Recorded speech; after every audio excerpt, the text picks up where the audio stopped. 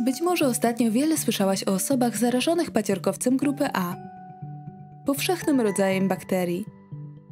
Niepełnosprawne dzieci niekoniecznie są bardziej zagrożone paciorkowcem grupy A, jednakże jeśli Twoje dziecko ma słabe mięśnie lub ciężko zwalcza infekcje, zasięgnij porady swojego lekarza.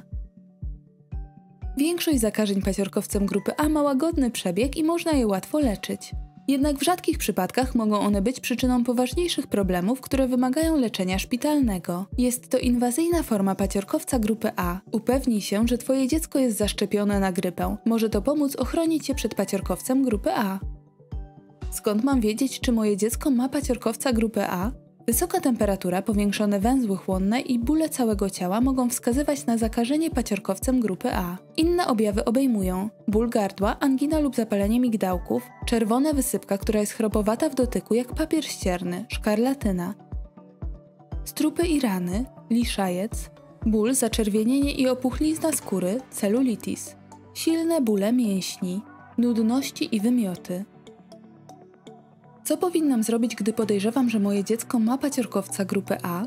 Zaufaj swojej intuicji. Ty znasz swoje dziecko najlepiej, więc korzystaj z pomocy medycznej, gdy uważasz, że jej potrzebujesz. Jeżeli twoje dziecko nie wydaje się być poważnie chore, możesz zwykle opiekować się nim w domu. Poproś swojego farmaceutę o poradę, jak leczyć objawy u dziecka i czy powinnaś udać się do lekarza.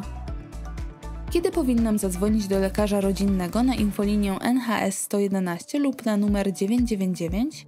Udaj się niezwłocznie do lekarza rodzinnego lub zadzwoń na infolinię NHS 111, jeśli Twoje dziecko źle się czuje i jego stan się pogarsza, je o wiele mniej niż zwykle, w mniejszym stopniu moczy pieluchy, sika mniej niż zwykle lub wykazuje inne oznaki odwodnienia, nie ukończyło trzeciego miesiąca życia i ma temperaturę 38 stopni Celsjusza lub wyższą, ma więcej niż 3 miesiące i ma temperaturę 39 stopni Celsjusza lub wyższą, poci się i jest cieplejsze niż zwykle, jest bardzo zmęczone i drażliwe. Zadzwoń na 999 lub udaj się na pogotowie, jeśli Twoje dziecko ma trudności z oddychaniem lub występują przerwy pomiędzy oddechami, jego skóra, język lub usta są zabarwione na niebiesko lub szaro. Na czarnej lub brązowej skórze może być to łatwiejsze do zauważenia na wewnętrznej stronie dłoni i podeszwach stóp. Jest wiotkie, nie budzi się lub nie utrzymuje się w stanie czuwania.